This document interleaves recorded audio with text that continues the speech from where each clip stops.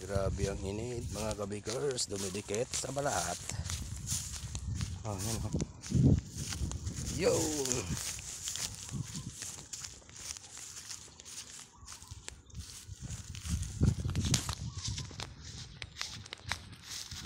Shout out dyan.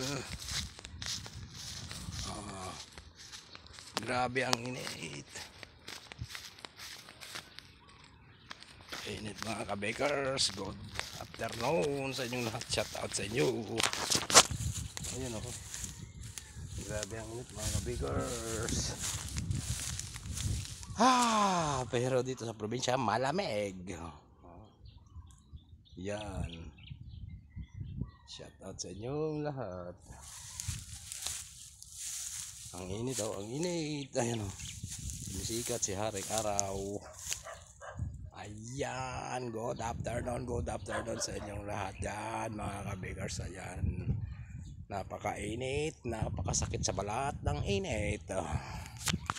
Ano, kitang kita ilo, nakikitang kita yung bundok sa kalinisan ng ano, sa liwanag ng init. Makikita, ayan. Oh. Shout out sa inyong lahat dyan na nasa loob ng bahay. Ingat-ingat po tayo dahil sobrang init. Dahil delikado. Inom ng tubig ng marami. Para iwas stroke. Mm, Sa mga high blood dyan, nako, ingat-ingat. Inom ng maraming tubig. Yan. Napakainit mga kabigars. Sobra, oh.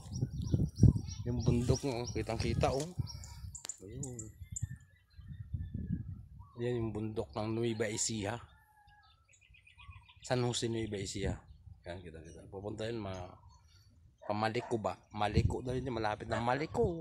Maliko shout out sa inyo mga kabikers sa mga nag ano ngayon dyan na nagpapahinga dahil napakainit ng panahon sobra.